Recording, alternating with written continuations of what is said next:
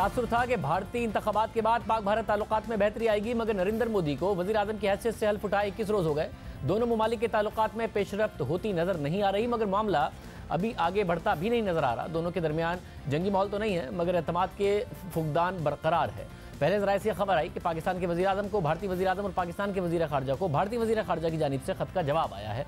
जराए के मुताबिक खत में बड़ी मस्बत बातें थी। कश्मीर और दहशत गर्दी समेत तमाम मसाइल पर पाकिस्तान की जानब से मुजाकर की पेशकश का मस्बत जवाब आया।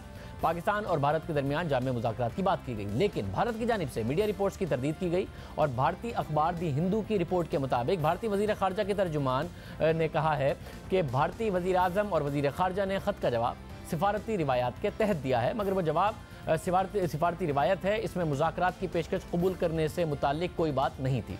भारतीय वजी अजम और वजी खारजा के खतूत से मुतालिक मीडिया रिपोर्ट्स पर पाकिस्तान के दफ्तर खारजा का रद्दमल भी सामने आया। तर्जुमान दफ्तर खारजा के मुताबिक क्यादत का अपने हम मनसब को अहदा संभालने पर मुबारकबाद देना सिफारती रिवायत है। पाक भारत ताल्लुक पर आगे बढ़ने से मुतल पाकिस्तान का मौकफ वाज है। पाकिस्तान को अपनी पोजीशन बार बार दोहराने की ज़रूरत नहीं है। टकराव की बजाय ताउन की जानब जाना होगा अगर मसाइल को हल करना है। वज़ीर खारजा, पाकिस्तान शाह महमूद कुरैशी साहब इस वक्त हमारे साथ मौजूद हैं। शाह साहब, बहुत शुक्रिया। शाह साहब, ज़ाहिर पाकिस्तान की तो एक बहुत ही मस्बत मस्बत बात रही है पाकिस्तानी हुकूमत की कि हमने ताल्लुक बेहतर करने हैं। वज़ीर खारजा के तौर पर आपका किरदार हो या फिर वजी अजम का। आप समझते हैं कि कोई बर्फ़ पिघल रही है या नहीं पिघली? और ख़त में क्या क्या ऐसी बातें हैं, कुछ ऐसी बातें हैं जिससे मज़बूत हुआ जाए? देखिए, ये एक एक खत था जो वज़ीर आज़म ने लिखा था।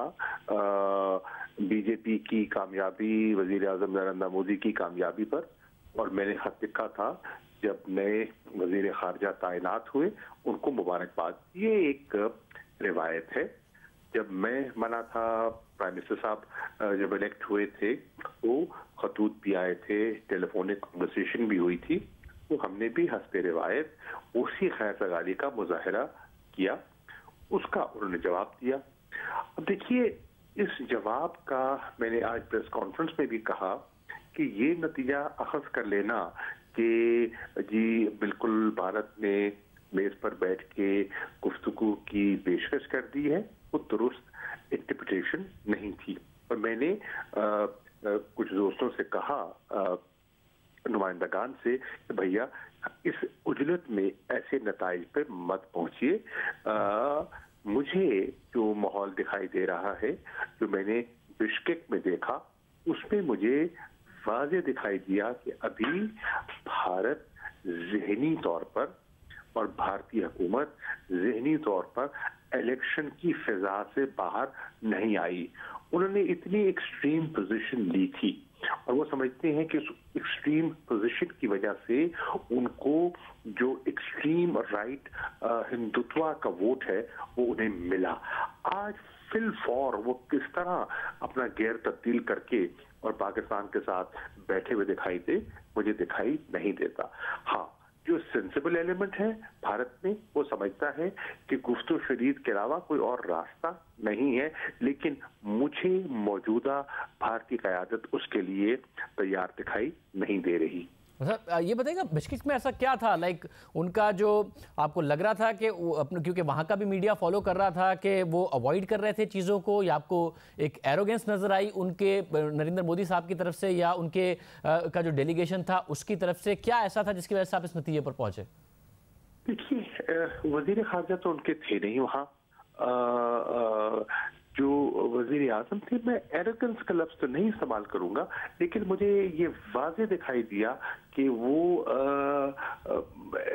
ताल्लुक दिखाई दे रहे थे और वो मतलब हिचकिचाहट महसूस कर रहे थे मतलब कोई कॉन्वर्सेशन स्ट्राइक करना बात करना। मुझे लग रहा था कि उनमें वो बूझ तले दिखाई दे रहे थे मुझे आ, मुझे ये महसूस हो रहा था। अच्छा पाकिस्तान की ऑफ़र बरकरार है, क्योंकि जब से वज़ी अजम बने हैं इमरान खान साहब, उनका एक मौक़ रहा है और वो मुजाकर और अमन की बात मुसलसल कर रहे हैं। भारत की तरफ़ से जो भी रवैया हो, जो कि एक बड़ी मस्बत बात है तो पाकिस्तान अपनी इस ऑफ़र पर अभी भी कायम है। देखिए, पाकिस्तान समझता है कि अगर इस खत्े ने तरक्की करनी है अगर हमने गुरबत का मुकाबला करना है, जहालत का मुकाबला करना है, माशी तरक्की करनी है, बेरोजगारी से जान छुड़ानी है तो उसके लिए अमन दरकार है। अमन कैसे होगा?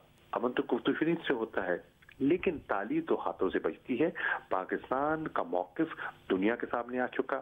पाकिस्तान का मौकफ हर जी शूर तबके ने, फर्द ने समझ लिया है।